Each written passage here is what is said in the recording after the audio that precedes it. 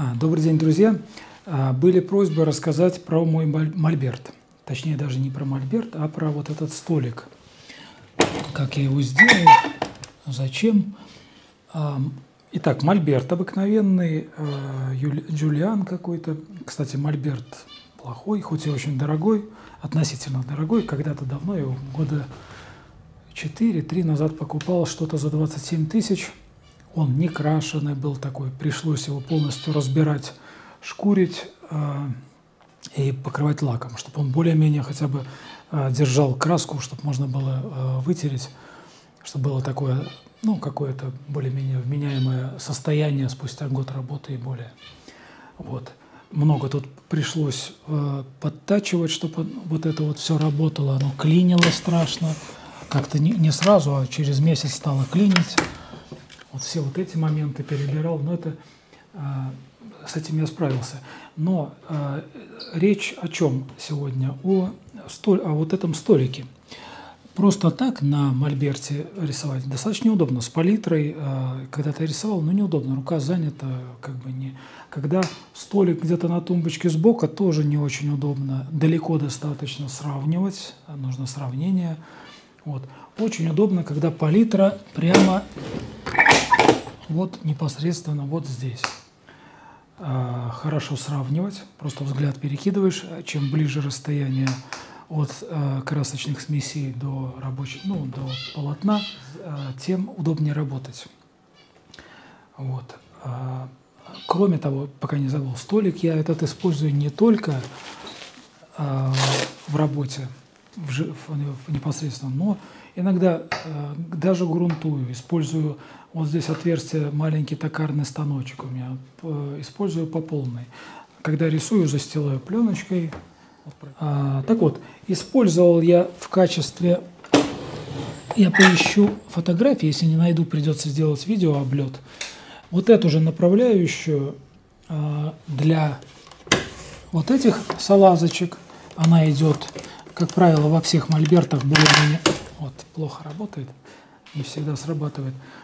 А, она идет донизу во всех больших мольбертах стационарных, вот это вот направляющая, то есть, ну, вырез вот этот, впадинка. Вот. Здесь я просто взял кус кусочек э, ДСП, по-моему, да, ДСП.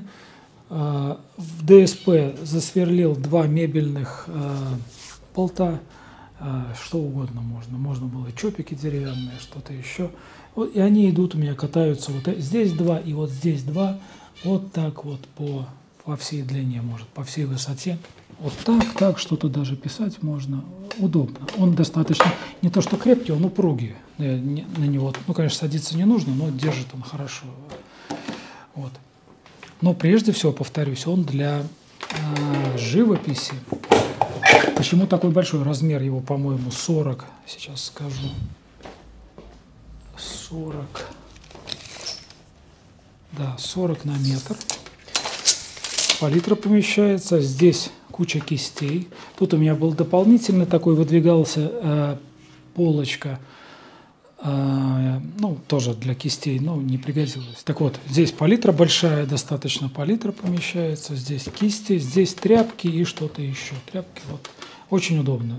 И больше не нужно, ну и меньше тоже. Не, э, уже будет как бы э, не очень. Вот. А, сделал эту доску, поставил фотографии, надеюсь, найду на упоры, на обычные такие а, э, эти а, металлические уголки. Поставил замочек, такой, как это называется, засов на пружинке, достаточно надежно. Вот этот иногда срывается, который шел в комплекте с этим, вот этот не срывается. Он становится на пружинке хорошо в в, в углубление, предназначенное для этого. Да, здесь у меня такой времен, не временно, он такой, я часто работаю с планшета, а, а, кронштейн под планшет. Он подпитан, точнее не он, сам, сам, а, сам Мольберт подпитан к, к электричеству. простой двойничок. Соответственно, здесь у меня подключен свет и э, вот этот вот планшет через э, блок питания. Удобно достаточно, то есть рядом, когда у тебя рядом э, какой-то референс, э, вот прям вот на этом уровне, максимально удобно работать. Потом, что здесь? Свет. Свет. Э, по поводу света маленькая поправка. Да, здесь у меня снят колпак, это обычная алюми... светодиодная лампа, ватт 25, больше не нужно слепить будет, 20, по-моему, ватт, можно меньше. Со снятым колпаком рассеиватель э, лучше снять его, ну хотя не обязательно, но э, тогда нужно ставить 25 и выше. Просто рассеиватель, у меня есть видео про это, замеры, рассеиватель берет примерно 25, о, то есть до 50% э, на себя э, тратится свет. То есть э, я замерял люксометром, так, например, 200 люкс на метре, снимаешь рассеиватель, получается 400. Вот такие, ну, порядок цифр такой. Вот. По поводу, как его располагать. Вот он у меня здесь присверлен на кронштейн, это какая-то икеевская или какая-то это а, лампа, светильник. Подальше. А, почему? Вот так, конечно, удобно поставить, но не забываем про квадрат расстояния. Если он близко, вот здесь будет, например, 40, ну, 50 сантиметров, например. Здесь будет, например, те же 200 люкс. Вот здесь, на этом, тут будет метр на вот этом э, расстоянии. Уже, соответственно, получается, если здесь 200, тут будет э, 100. Э, то есть ставить повыше, вот куда-то вот так. Я ставлю, ну, примерно во всю длину. Он э, освещение более-менее равномерное дает. Вот под левую руку я вот так его ставлю, чтобы тени не было особо. Вот как здесь с правой стороны тень дает. Если бы этот включить, тень он не дает. Так вот, муштабель очень удобно. Он э, сюда прикручен, ходит, не мешает, никогда не мешает. Но очень часто помогает, он всегда под рукой. Ты его взял и э, работаешь. Так я обычно работаю. Какой-нибудь референс, планшетик поставил сразу на зарядку, он на магните у меня вот здесь выстроила освещение, красота. Рисую не хочу. Так что очень рекомендую сделать вот такую вот рабочую поверхность. А, уверен, что даже поможет вам в, а, светоподборе, а, когда рядышком, когда это стационарно, не дергается, не меняет освещение, вот рядом просто удобно, максимально удобно работать. Удобнее, если только вот когда тонкие подборы цвета, вот сюда палитр, мини-палитра ставится, вот сюда точнее. И когда подбираешь цвет, когда вообще в одной плоскости э, краски находятся, тогда это максимальный подбор, удобный в цвете. А, и спустя некоторое время я э, ручки чешутся. Что еще сделал с этим инструментом? Во-первых, я укоротил ему заднюю базу, отрезал примерно вот такой вот кусок. То есть а, он полностью не упирался к стенке. Все-таки хоть у меня помещение достаточно большое, но лишнее, лишнего не бывает а, пространства. Сейчас он прекрасно становится прям к стеночке, не выпирает особо. А, вот. А, что еще? Каретку перебрал полностью, а, уменьшил, ну тут так получилось, сделал вот этот шип латунный, а, ну неважно, можно хоть саморез сделать, это намного удобнее, чем какие-то зацепы из этих они мешают. Вот это здесь тебе ничего не мешает. Пишешь, закрашиваешь, он и тени не бросает на верхнюю часть работы. Вот. Вот этот зацепчик мне там для определенных положений, он тоже цепляет холст, точно так же не мешает. Так, это для съемок. А вот это вот я закрепил стационарно. Это уже новая версия муштабеля, векторный муштабель. А, он как это работает так же, как и обычный муштабель а, на холсте, знаете, для упора а, рук.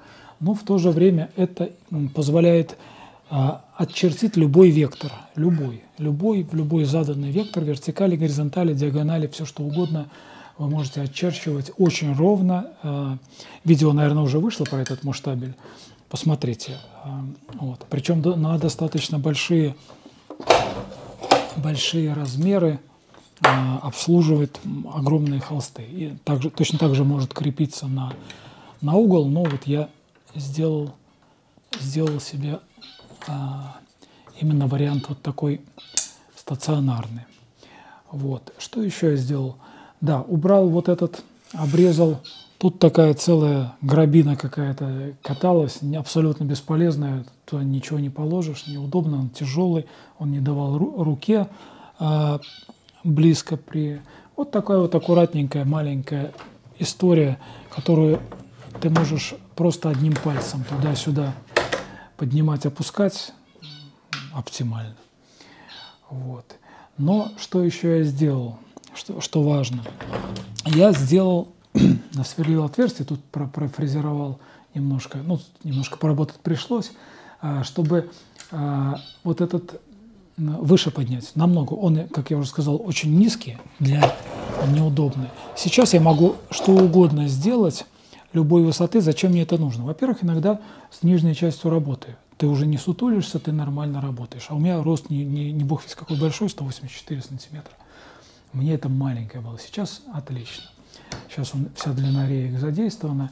Но а, вот этот инстру... э, прибор превратился у меня в своеобразную конторку. Конторку для работы стоя. Я очень много работаю, читаю там на планшетах, на чем-то еще. И книги читаю удобно. Я вставлю окошки, как я это делаю. А ты э, имеешь возможность поработать стоя, а это, как, как оказалось, нереально. Я на 55-м году понял, насколько это а, приятно и полезно иногда встать из кресла или там из дивана и поработать часик, а то и два стоя.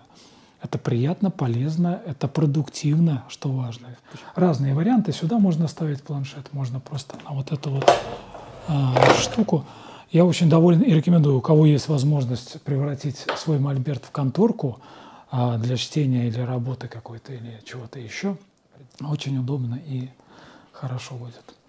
Вот, ну, кажется, все, на, все я же сказал про этот инструмент. Может, какие-то доделки будут еще, но уже видео я э, отснял. Все, спасибо за внимание, хорошего дня, счастливо.